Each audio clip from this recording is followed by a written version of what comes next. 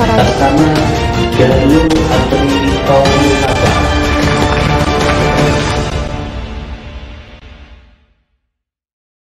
pagi pemirsa, kembali lagi bersama saya Alivia Sucitasya dalam KSM Tingkat Aliyah Kabupaten Banyuwangi. Seputar informasi berita teraktual, tajam dan terpercaya datang dari News Mandawangi. Berikut berita teraktual hari ini. Sabtu, 13 Agustus 2022, Mandua Banyuwangi menjadi salah satu tuan rumah diadakannya KSM tingkat kabupaten.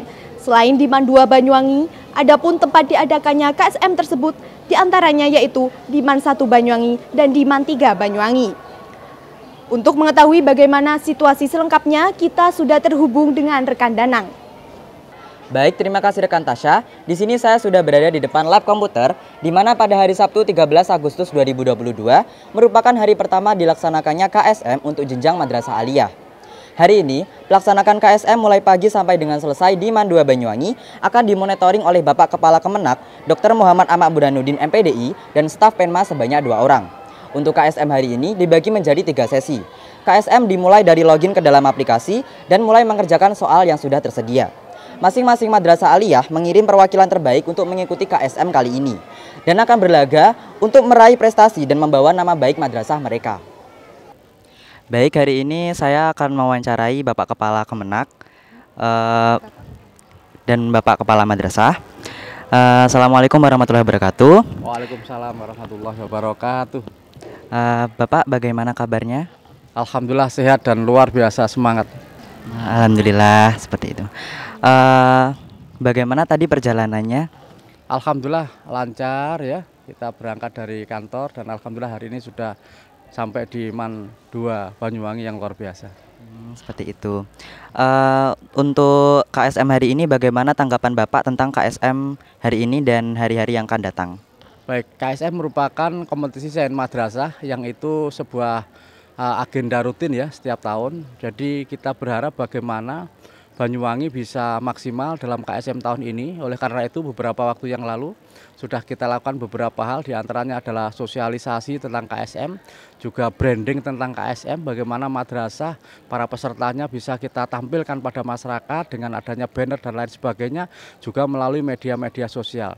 Terus kemudian kami berharap siswa dipersiapkan semaksimal mungkin. Karena tidak mungkin ini apa ya dadaan tapi harus ada uh, sebuah proses yang harus dilalui anak didampingi para guru didampingi para pembina. Kami ingin dalam KSM tahun ini nanti akan terpilih siswa terbaik dari Banyuwangi dan kita nanti akan berkompetisi tingkat provinsi Jawa Timur dan harapannya kita akan bisa juara Jawa Timur Banyuwangi dan mewakili ke tingkat nasional. Allahumma amin. Ya. Oh seperti itu. Semoga harapannya bisa tercapai. Amin, Ya, amin, amin, ya, amin. Untuk Bapak Kepala Madrasah sendiri, eh, bagaimana kesulitan dan persiapan-persiapan yang udah disiapkan untuk KSM hari ini? Assalamualaikum warahmatullahi wabarakatuh. Terima kasih namanya Bapak Kepala Kantor Kementerian Agama Kabupaten Banyuwangi, Bapak Dr. Haji Muhammad Ahmad Burhanuddin, MPDI yang berkenan hadir untuk monitoring pelaksanaan kegiatan KSN tingkat Madrasah Aliyah di Mandua ini. Alhamdulillah kami bersama tim eh, Komite KSN Kabupaten Banyuwangi telah mempersiapkan segala sesuatunya dengan sebaik-baiknya agar pelaksanaan KSM ini berjalan dengan baik karena di Mandua ini kebetulan ada tiga sesi artinya jenjang tingkat MA hari ini besok hari Ahad jenjang MTS kemudian dilanjut hari Senin adalah tingkat MI tentu ini adalah satu kegiatan yang yang kami kami persiapkan dengan ekstra agar pelaksanaan awal hingga akhir nanti bisa berjalan dengan baik. Adapun hambatan yang ada tentu karena memang eh, peserta ini dari berbagai madrasah, madrasah swasta juga ada di sini. Tentu eh, ini juga menjadi satu satu PR kita agar kita koordinasi dari waktu ke waktu agar peserta itu betul-betul eh, bisa tepat waktu, tepat pelaksanaan dan tentu harapan kita adalah kegiatan dan pelaksanaan ini berjalan dengan baik sesuai dengan yang diharapkan oleh eh, ke tim dari Kabupaten Banyuwangi. Demikian. Kalau untuk tanggapan sendiri, bagaimana tanggapan Bapak Kepala Madrasah mengenai KSM yang dilaksanakan hari ini? Oke, yang di Mandua Banyuwangi ini. Nah, Untuk KSM ini luar biasa, tentu ini harus di, di, digaungkan karena KSM adalah sebuah ajang untuk menggali potensi dan kemampuan daripada anak didik kita. Dengan adanya KSM ini kita dipacu untuk terus eh, berbenah dan meningkatkan kualitas secara akademik. Tentu ini adalah suatu eh, alat ukur untuk keberadaan daripada mutu madrasah itu, sen- itu sendiri. Demikian. Seperti itu. Untuk pesan dan kesan Bapak untuk acara KSM KSM ini bagaimana pesan dan kesannya di Mandua Banyuwangi ini? Baik, eh, saya awali dengan kesan ya. Alhamdulillah persiapan luar biasa di Man 2 Banyuwangi. Terima kasih Pak Kepala Madrasah, Pak Haji Sairoji beserta seluruh jajaran ya.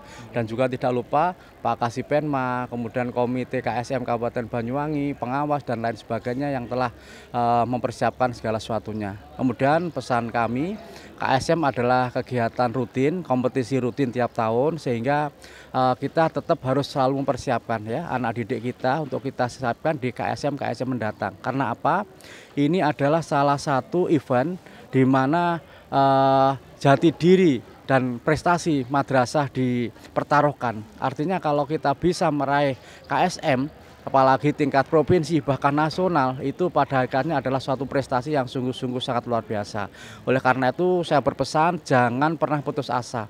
Ya, terus lakukan pembinaan terus siapkan siswa-siswi peserta didik terbaik di tahun-tahun yang akan datang. Saya yakin ke depan Banyuwangi ini akan bisa menjadi barometer pendidikan tidak hanya sebagai jujukan untuk sharing antar madrasah di Banyuwangi, tapi juga di Jawa Timur bahkan nasional. Kita ingin berbuat sesuatu dari Banyuwangi untuk Indonesia. Untuk Bapak sendiri bagaimana pesan dan kesannya KSM ini?